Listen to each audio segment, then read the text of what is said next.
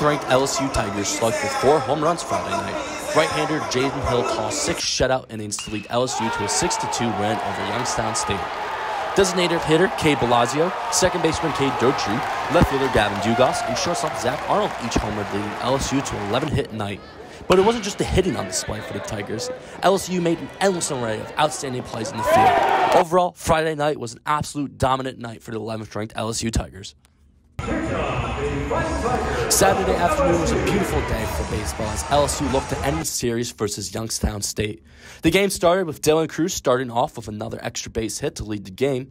Head coach Paul Mainieri had high praise for the freshman and why he wants him in the leadoff role. imitation of leading off a game with a home run, which is what I envisioned. I think he led off the first game with a double, if I'm not mistaken. So, you know, a lot of people wonder why I lead him off, but that's exactly why. You know, you love to lead, see a game be led off with an extra base hit, double or a home run, and give you an early lead. And after a long day of spectacular baseball, one team had to win. In the bottom of the ninth, Dylan Crews was hit by a pitch.